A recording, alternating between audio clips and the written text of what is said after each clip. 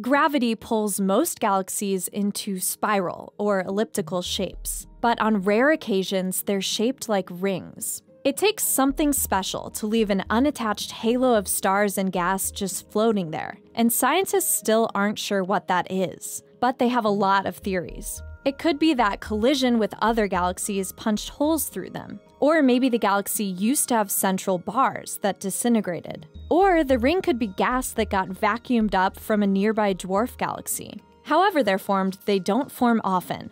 Fewer than 1 in 1,000 galaxies are shaped like a ring. But it turns out these cosmic rarities can get even more unique. Researchers just found a new ring galaxy, and when they took a closer look, past the bright visible light of the core. That's actually a, a, red feature that appears to be another diffuse ring. Two rings suggests it's gone through two distinct stages of formation. That could be an exciting addition to our knowledge of ring galaxies. But astronomers aren't any closer to understanding how it happens.